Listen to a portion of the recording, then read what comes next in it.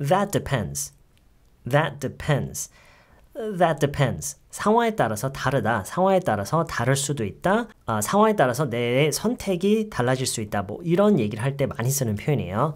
That depends. Hey, Joe and I are going to the movies tonight. You wanna come? Joe and I are going to the movies tonight. Do you wanna come? 아, 조랑 나랑 오늘 같이 영화 보러 갈 건데 오늘 밤에 영화 보러 갈 건데 너도 갈래? 이렇게 초대를 하죠. Uh, Joe and I are going to the movies tonight. Do you want to come? 이라고 했을 때 uh, That depends. What time is the movie? That depends. What time is the movie? 영화가 몇 시에 시작하는지 모르는 이 상황에서는 yes나 no라고 할 수도 없다. 그거는 그 시간에 따라서 달라진다라는 그런 얘기죠. 근데 이거를 자연스럽게 그냥 어, 우리말로 옮겼을 때는요. 어, 글쎄 영화가 몇 시에 하는데 이 정도예요. 그렇죠? 그렇다고 that depends가 우리말로 글쎄인가요? 뭐 그렇다고 할 수도 없어요. That depends. 그거마저도 어, 상황에 따라 달라지는 거죠. That depends on the context. 어, 전체적인 맥락에 따라서 그건 달라지는 거예요. Hey, Joe and I are going to the movies tonight. Do you want to come? Um, that depends. What time is the movie? 아, 방금 제가 보여드린 것처럼 that depends on the context. 아, 그 문맥. 아, 맥락에 따라서 달라진다, 달라질 수 있다라고 얘기를 한 것처럼 that depends on the time. 시간에 따라서 어, 내 결정, 내 선택은 달라질 수가 있다. That depends on the time. 이렇게 얘기할 수도 있고요. 아, 뭐 그 날에 따라서 다르다. That depends on the day. That depends on the weather. 뭐 날씨에 따라서 다르다. It depends on my mood. 내 기분에 따라서 다르다.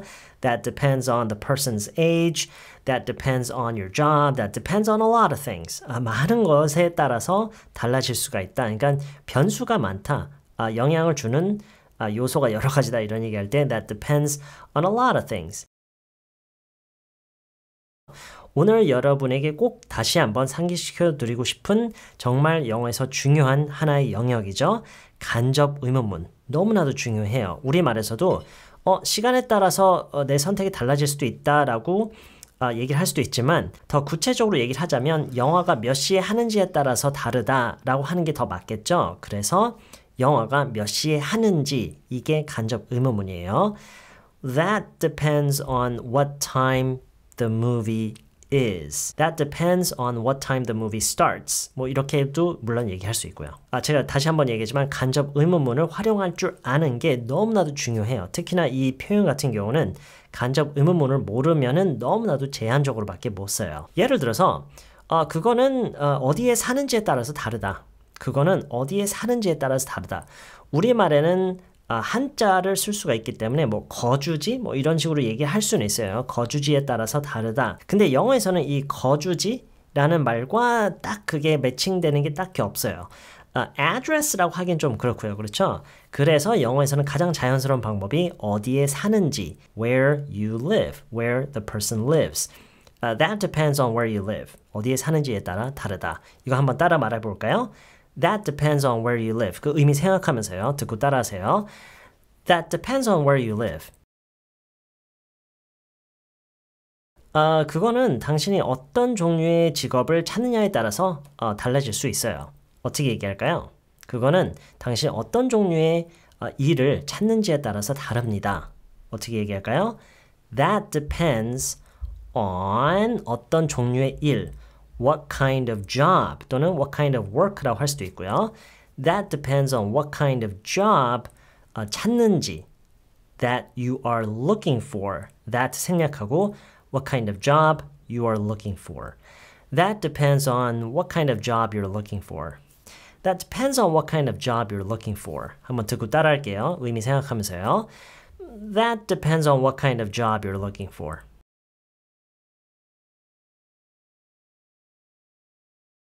예를 들어서 누가 뭐 에어비앤비나 뭐 호텔이나 또 다른 어떤 숙박 시설에 대해서 얘기를 하면서 어느 쪽에 묵는 게 어느 쪽을 이용하는 게 더 좋을까요? 라는 뭐 그런 어, 조언을 구하고 있어요. 그거는 얼마나 오랫동안 머물 건지에 따라서 달라져요. 그거는 얼마나 오래 머물 계획인지에 따라서 다릅니다. 이런 식으로 만약 얘기를 하고 싶다고 가정해 볼게요.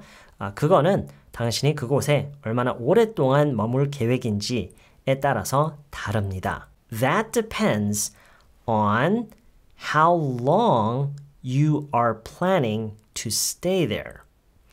That depends on how long you're planning to stay there. 그거는 당신이 그곳에 얼마나 오랫동안 머물 계획인지에 따라서 다릅니다. 의미 생각하면서 듣고 따라하세요. That depends on how long you're planning to stay there.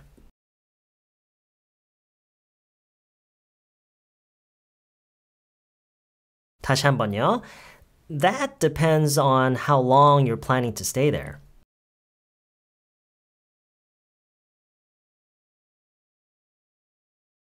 뭐 영어를 뭐 이 정도 하기 위해서는 뭐 어느 정도 공부를 해야 되느냐라는 질문을 자주 받는데요. 거기에 대해서 제가 자주 하는 대답이 네, 여러분도 아시다시피 그거는 아, 여러분이 얼마만큼의 시간을 투자하는지에 따라 달라진다. 어떻게 얘기할까요? 그거는 시간을 얼마나 투자하는지에 따라서 달라진다.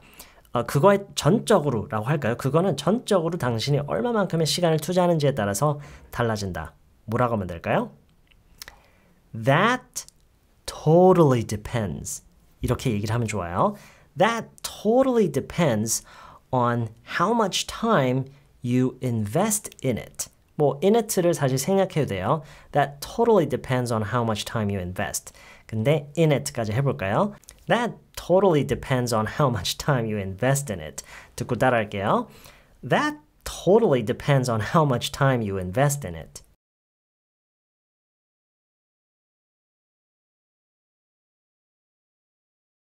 in it 생략하고 다시 한번요.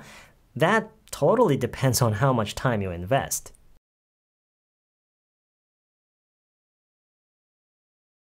아, 그리고요. 이 it depends를 꼭 이렇게 현재형으로만 쓰는 건 아니에요. 아직 일어나지 않은 앞으로 있을 일에 따라서 어, 결과가 뭐 달라진다 뭐 이런 얘기를 할 때는 물론 it's gonna depend, it will depend on 이라고도 할 수 있어요. 예를 들어서 어, 당신의 시험 점수에 어, 크게 좌우될 겁니다. 이렇게 얘기를 하는 게 맞나요? 우리말로 당신의 시험 점수가 어떻게 나오는지에 따라서 어, 달라질 겁니다. 이런 얘기를 한다면은요. 어떻게 할까요? 시험 점수에 따라서 달라질 겁니다.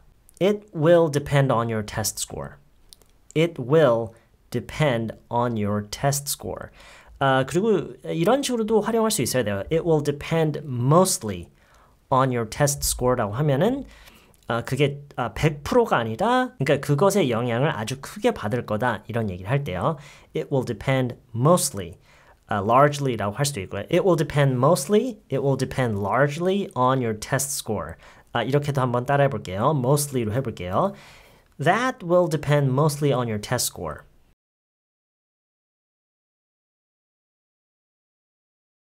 자, 그리고 아, 예를 들어서 결혼 여부에 따라서 그건 다릅니다. 이렇게 얘기할 수도 있죠. 결혼 여부를 뭐라고 하죠? 결혼 여부요. 이거를 비교적 좀 formal한 좀 비교적 딱딱한 아, 방식으로 표현을 하자면 marital status라고 할 수가 있어요. marital status. That depends on your marital status. That depends on the person's marital status. 그거는 그 사람의 결혼 여부에 따라서 달라집니다. 근데 결혼 여부 이렇게 얘기하는 그렇죠? 우리말에서도 심지어 결혼 여부라고 하는 것 자체가 조금 딱딱하게 느껴지죠. 아, 물론 이렇게 얘기할 수는 있지만 결혼을 했는지에 따라서 결혼을 했는지 안 했는지에 따라서 그건 다릅니다. 이렇게 얘기를 하는 게 조금 더 편하게 말을 하는 거죠. 자, 이거는 간접 의문문의 일종이지만 지금까지 해왔던 의문사 그리고 평상문 이런 구성이 아니에요. That depends on whether or not you're married. Whether or not the person is married. Whether or not로 표현을 하는 거예요. 뭐뭘 했는지 안 했는지 인지 아닌지에 따라서 다르다 이런 얘기 할 때도 많죠. That depends on whether or not you're married. That that depends on whether or not the person is married. That depends on whether or not the person is married. Whether or not you're married. 따라해 볼게요. That depends on whether or not the person is married.